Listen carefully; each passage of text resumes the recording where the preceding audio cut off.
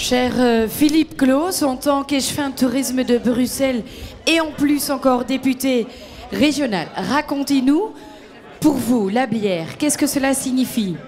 Ben, c'est d'abord l'âme de cette ville et de ce pays, parce que s'il y a bien un produit qu'on connaît tous depuis tout petit, même depuis la bière de table, puis tout ce qu'on peut connaître dans tous les épisodes de la vie, c'est la bière. Et il y a une spécia- spécialité en Belgique, c'est que c'est toutes les sortes de bières. C'est pas une seule marque. C'est la diversité des bières belges, et c'est ça qui fait la spécificité, et surtout le fait que c'est connu dans le monde entier.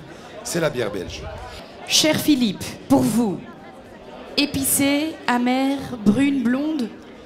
Alors plutôt amer. Euh, je ne suis pas très fan des bières sucrées. Euh, les bières brunes, oui plutôt, et complexes. C'est vrai qu'on a vu un renouveau de la bière pour l'instant et on sent qu'il y a une nouvelle mode. Autant la bière a pu être parfois méprisée. Aujourd'hui, on sent un boom extraordinaire dans toutes les générations. La bière est redevenue un produit moderne. Et donc, euh, oui, ben, il faut oser goûter d'autres choses. Et euh, je crois que c'est aussi ça l'intérêt, c'est la complexité, la diversité des bières belges. Tous ensemble pour la bière belge, évidemment.